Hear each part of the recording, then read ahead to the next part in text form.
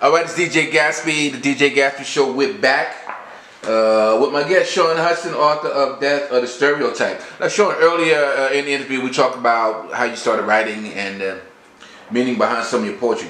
Um, what made you uh, decide to be so provocative with your poems? I mean, there's some very powerful topics here that you got: respectability, a black woman's pain. You know, the Bronx story, Fender Foe, Sins of My Father. Some very, very uh, serious titles for the poetry. Uh, what made you tackle these subjects uh, in, in your book? I just felt like um, a lot of authors, they might have tackled it like in their own way, but I feel like I wanted to do it my way, you know, because there's, you got a lot of poets that are great, Sure. you know, but a lot of them sound like a Harvard professor and use like a, a lot of words out of a thesaurus, and it's like, all right, what am I reading here? Like, Yeah. and me, I'm just straightforward, letting you know how I feel, and I feel like I don't know, like really, I just wanted to um, just tackle something different because everything else I write, usually everything I write is about social issues, and even though some of those poems are, it's more personal to me because I had a lot of stuff that I held back on in previous releases, and I felt like this was I felt comfortable just sharing it with the world. Now, a lot of poem, a lot of poets or spoken word artists, um, they're very reluctant to publish their work. You know, I know tons of poets. They'll, they, you know, they, they got pages and pages of poetry, or even spoken word artists. Um, what motivates you to actually publish your poems?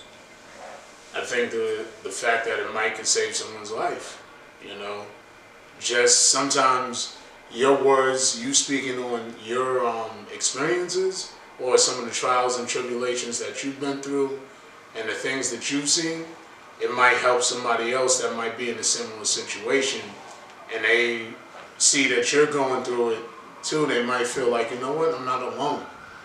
You know, so I figured, you know, what's the point in spending hours, days, months, years in writing something and I'm just gonna put it away and never share it with anybody. You know, if I wanted to do that, I would just have a journal. You know, but this this is my gift from God, so I'm gonna just share it with everybody, and whatever happens, happens after that. Now, off camera, you were talking to someone, you know, asking you about open mics and um, and things of that nature. Do you perform uh, your poetry at open mics or or at, at poetry events? Like sometimes I've I've done that a lot more in the past, but I had took a while. I had took a like um a hiatus sort of, you know, because I had a death in the family and I wasn't even sure I was even going to continue writing. So what I did recently was I shot a few videos for some poems, and I would have like an instrumental in the background Okay. You know, to try to show everybody, to try to show everybody what I'm capable of, and to make up for the performances all the times I didn't perform. So you know, but I'm pretty soon I'm gonna get back into the open mic field of things. All right now, you. Uh, how do your family and friends, um, you know, how, how does your poetry affect them? whenever you have poetry and spoken word or something, you're going to share it with somebody. To spit some verses to somebody. You know, what do your family and friends and co-workers feel about your poetry and you being a poet?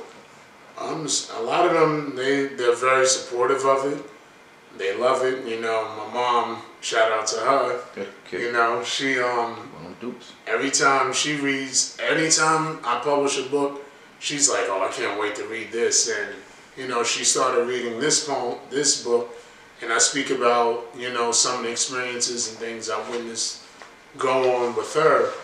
And I thought, oh man, she's gonna be upset, she's gonna be pissed. But it turned out to be the opposite because she knows that what went on with her was a part of my journey in growing into a man. So, you know, everybody's pretty much supportive of it so far. Okay. Now in the book, you I'm looking here. You have two sections. One is poems, and one is poetic thoughts. What is the difference uh, between the two the two? Uh... Well, what the poems is just strictly the poems, and what poetic thoughts is like me taking certain poems that I feel are really special, and I just give you like a breakdown of what was my process of writing them and what made me write them.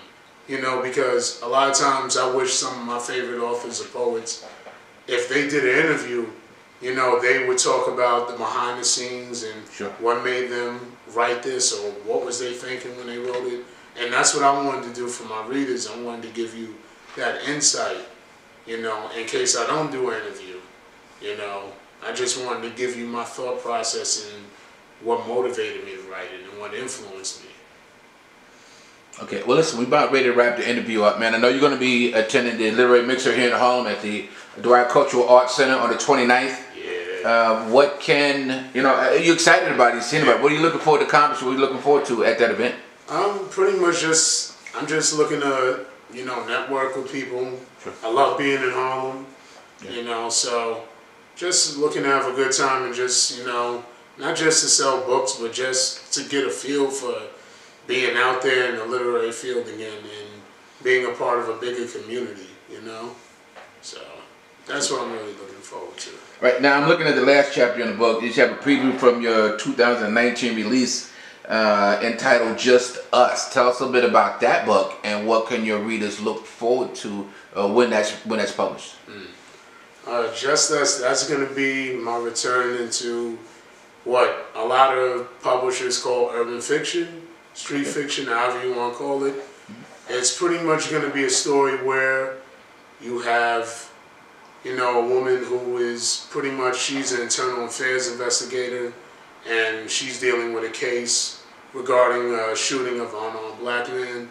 And there's a police department, it's a fictional town mm-hmm. called Sinville, and she's pretty much going to have to deal with them but they're gonna they're not gonna go easy at her and her husband is also gonna have to come with grip her boyfriend better yet is gonna have to come with grips of some of his demons and he's gonna have to overcome a certain tragedy that goes on and I can't tell you really too mm-hmm. much okay. anymore because it's gonna be a crazy plot and a roller coaster ride but people can expect something really unique and very modern and everything to deal with you know, the issues we're going on in our times. And it should be out early June. Okay. So look out for that. All right, everybody, it's DJ Gatsby. We're here with uh, poet and author Shawn Hudson. Uh, we've been discussing this book, That's a Stereotype. Uh, Shawn, we're going to wrap it up in a minute. You said you were going to read one of your poems before we go. So we'll take a quick break and we'll be right back uh, with Shawn Hudson, author of Death of the Stereotype.